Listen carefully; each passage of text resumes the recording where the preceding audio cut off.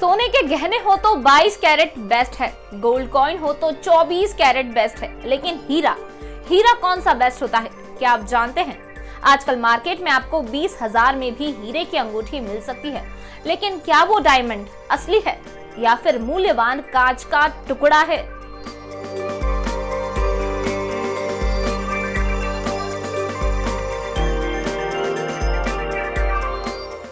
नमस्कार, आपके साथ मैं हूँ भावना साखला और आप देख रहे हैं न्यूज़ 18 हिंदी ओरिजिनल्स त्योहारी सीज़न में सोना चांदी और हीरे के जेवरात खरीदना सबकी पहली पसंद होता है। चाहे छोटी सी अंगूठी क्यों ना ले, दिवाली के त्योहार पर गहने ज़रूर खरीदते हैं। हमारे पिछले वीडियो में हमने आपको सोने से जुड़ी सभी जानकारी दी थी। सोने की शुद्धता से लेकर असली और नकली सोने में फ़र्क कैसे करें, ये भी बताया था, जिससे आपको दिवाली की शॉपिंग में आसानी हो।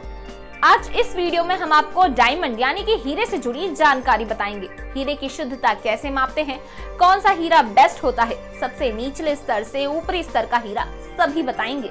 आप में से बेहद कम लोग ही जानते होंगे कि हीरे की भी अलग अलग क्वालिटी होती है। अगर आप पंजाबी गानों के शौकीन हैं तो आपने किसी न किसी गाने में वीवीएस डायमंड के बारे में ज़रूर सुना होगा।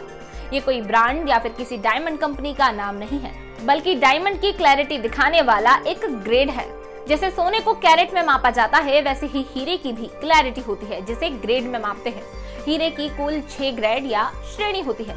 चलिए आपको एक एक करके बताते हैं सबसे ऊपर से सबसे निचले स्तर का हीरा कौन सा होता है।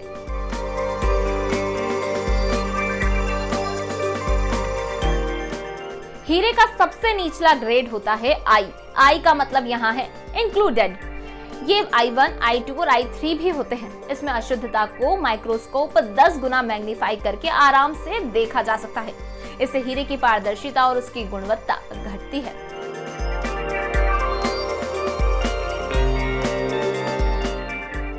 आई स्लाइटली इंक्लूजन यानी हल्की मिलावट। ये थोड़ा ऊपरी स्तर का हीरा होता है। इसके अंदर भी एस वन और एस टू ग्रेड होते हैं।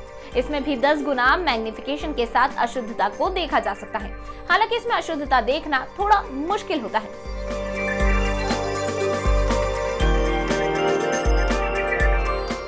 इसके ऊपर जाए तो आता है VS1 और VS2 यानी वेरी स्लाइटली इंक्लूडेड इसमें थोड़ी सी मेहनत करके 10 गुना मैग्निफिकेशन के साथ अशुद्धता देखी जा सकती है।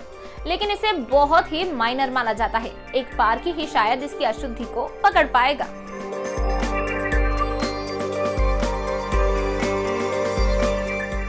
VVS1 और VVS2 यानी वेरी वेरी स्लाइटली इंक्लूडेड आमतौर पर ये हीरा सबसे ज़्यादा बिकता है।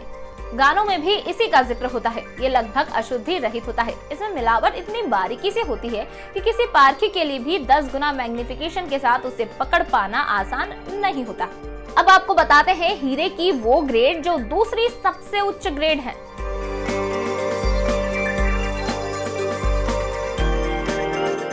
ये है IF यानी इंटरनली फ्लॉलेस इसमें 10 गुना मैग्निफिकेशन में कोई मिलावट नहीं दिखाई देती है। ये दूसरा सबसे उच्च ग्रेड का हीरा होता है। अब आखिरी और हीरे की सबसे उच्च ग्रेड बताते हैं।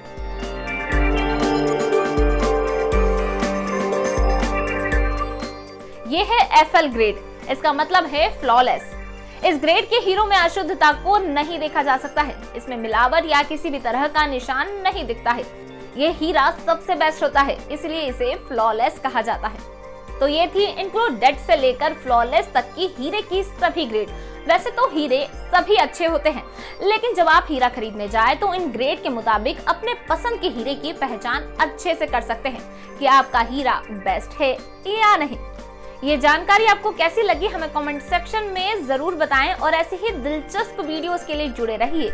न्यूज़ 18 हिंदी ओरिजिनल्स के साथ।